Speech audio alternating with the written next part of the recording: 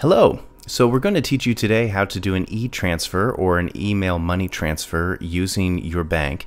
The example I'm going to use will be TD Bank. However, the process is pretty much the same no matter what bank you go to. In the future, however, I will post videos specifically with each bank. The challenge is I have to have an account with each bank. So we're doing mine right now for simplicity's sake. And you're also going to see things in this video that are blurred out. Don't be concerned with that. That's my private information that I'm keeping restricted so you don't see what's in my bank account, names of people, things like that.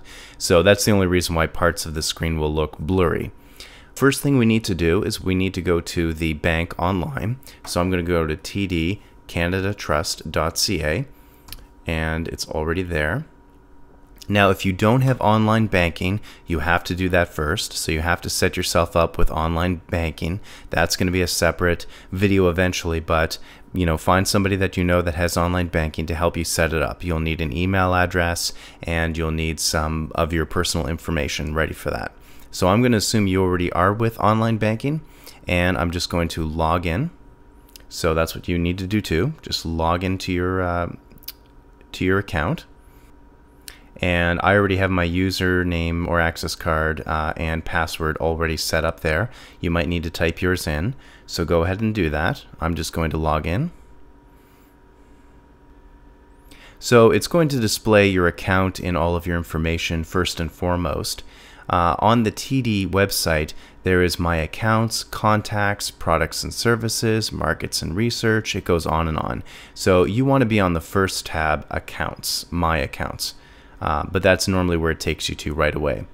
Now, if you look down into roughly the middle of the page over to the left, you'll see Interact e-Transfers. That's what you'll want to click on. Now, you could also go to My Accounts, wave your mouse over My Accounts, and you can go to Interact e-Transfers that way and just left click or click on the trackpad. So we're going to go straight there and you are about to do an email money transfer. So uh, the first thing you need to do is you need to actually choose which account the money is going to come from. That's very, very important. I know for a fact that it costs me more if I take money out of my savings account than my checkings account. So I often take the money out of my checking account. So I'm just going to uh, click once, left mouse click or trackpad once on the down arrow under choose your account and I'm just going to choose my checking account. And now you need to add the person. If you don't have the person in your contacts, and if you say, well, Joshua, I don't know if I do or not, chances are you don't. Uh, so just click Add New, and you type in their information, John Smith.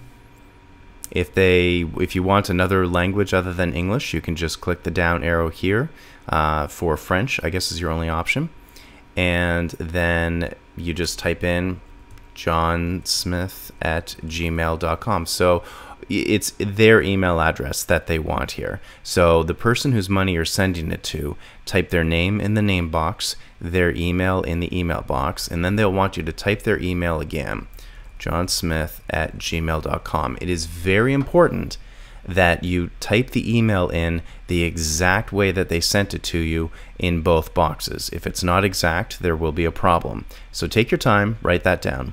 Then just left click using your mouse, or if you're using your trackpad, just click down on, on the add button. And there you go. The ad was uh, set up. So John Smith now is now in sort of my contacts list. Now all I need to do is send money and I just click left click or use my trackpad and click on send money. And you can see that and I double check to make sure it's coming from my checking account which it is. Now I'm going to enter in the number. Let's say I'm going to send John Smith um, five dollars. You can just type in five and it'll figure out that it's five dollars. Um, I think the limit is about a hundred thousand dollars but be very careful and make sure you're adding in the exact right amount of money and now, so you see here that the recipient is John Smith. You can also click the arrow here and choose any one of your contacts. You can see I have a lot of contacts here. I've sent money to people, I've received money from people. Um, so you can you can choose anyone here and change the name of the person you're sending the money to, um, well, the name and the email address of the person. I'm going to keep it as John Smith and we're going to go down to security and now you have to put in a security question that they will know the answer to. Off it can be anything you want and just make sure that the other person, the person you're sending money to knows the password. So I'm going to say for example, do you have a cat? And John Smith will say yes. And then I confirm the answer is yes and that's it. That's all you have to do. Uh, you can put in any question. It can't be very long. Uh, I think they have a word limit, so make it a very simple question. And uh, if you want to increase the security, you could say something like, What number did I send you? And then in the answer, you can create a number like 5677658. And then make sure it's the exact same number 5 five six seven seven six five eight. And if you have a personal message you want to send, uh, you want to add to this, you can do it here. And for example, if I was sending him five dollars because he bought me a, you know, something at the grocery store, I would put in grocery store pay back. You know, just for your own records. When you're done with all of that, just scroll down to the bottom of the page and click next and you see now it has a confirmation page and it says, you know, verify this information. So look over your information. It's coming from my checking account. Uh, it's going to be $5. I'm sending it to this person. And, and then you just click send money. I won't do it right now because I don't want to send my friend money. Uh, but then it'll give you a confirmation page. And that's all you have to do. What will end up happening is that person will receive an email within about 20 to 30 minutes. Oftentimes it's a lot faster than that these days.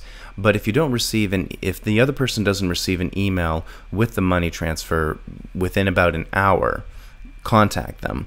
But it should take less than 30 minutes before they receive it and that's pretty much uh, that's pretty much about it. Now, if they didn't receive it before you contact TD and you try to figure out what's going on, ask them to check this their spam in their email because sometimes Interact e-transfers get sent to the spam. So make sure that they check that. And that's the entire process. I hope you enjoy, and I look forward to teaching you new things as we move along. Have a great week.